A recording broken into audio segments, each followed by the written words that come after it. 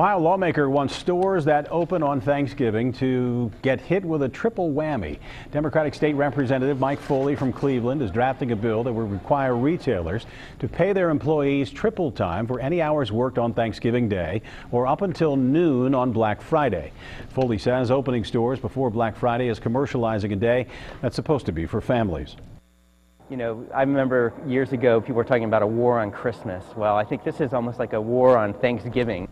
Even if lawmakers pass it, the bill won't be ready for this Thanksgiving. Bills generally don't become law until 90 days after the governor signs them. It's a long way from that. I've started a chat about this on the Local 12 Facebook page. We've had interesting conversations in the newsroom about it today. Check it out. I want to know what you think.